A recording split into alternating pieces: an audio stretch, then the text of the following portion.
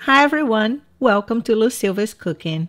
Today I'm making a simple, creamy, cheesy mac and cheese, perfect for the holidays or any time. To a large saucepan on medium heat, add 14 and a half ounces of salted chicken broth, 12 ounces of evaporated milk, and 1 teaspoon of chicken base or salt to taste. Stir a little bit to combine. Cover the pan and let it come to a boil. But be careful. Keep an eye on it so it doesn't overflow and make a mess on the stove. You Stir it again and add half a pound of elbow macaroni, which makes plenty of macaroni and cheese for four to six adults. You Stir well, separating the pasta and keep stirring it until it comes to a simmer. Cover it, but not completely, and let it cook for about 6 minutes. The macaroni is still a bit firm, and its starch already started to thicken the sauce. Now, it's time to add the rest of the ingredients. 2 tablespoons of salted butter, 1 cup of heavy cream mixed with half a cup of whole milk and give it a good stir. Make sure you lay out the cold ingredients for about 30 minutes prior to cooking. Add half a cup of sour cream, mix it in,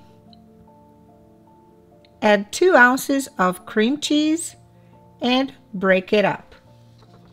Once everything is melted and incorporated, Shred an 8 ounce block of extra sharp cheddar cheese and an 8 ounce block of Colby Jack.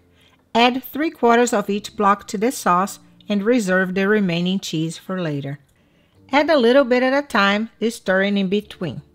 I don't recommend using pre-shredded cheese because it's coated with a starchy substance that keeps it from clumping, which also keeps it from melting as well as it should, and in my opinion, makes the sauce grainy. Extra sharp cheddar cheese and Colby Jack are our personal favorites, but you can be creative with the cheese selection. Great cheeses to use are mozzarella, Gouda, Colby, Fontina, Monterey Jack, and Gruyere. This mac and cheese is deliciously creamy without the addition of flour or eggs. This is a good time to taste the sauce and adjust the salt to your liking so I added half a teaspoon of chicken base.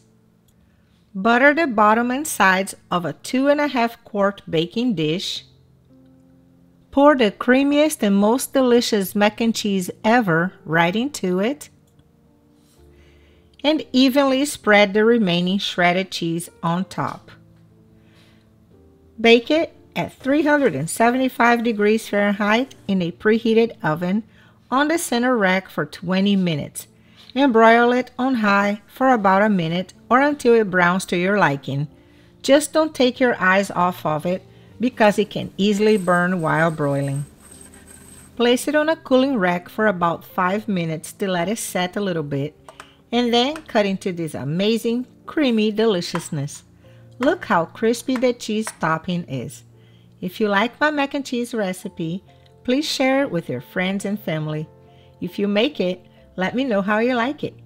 Whether it's for a summer cookout or the holiday season, this comfort food is always a hit. A popular dish that brightens any lunch or dinner. I hope you give my recipe a try and give it a big thumbs up. Thank you for watching and I'll see you next time.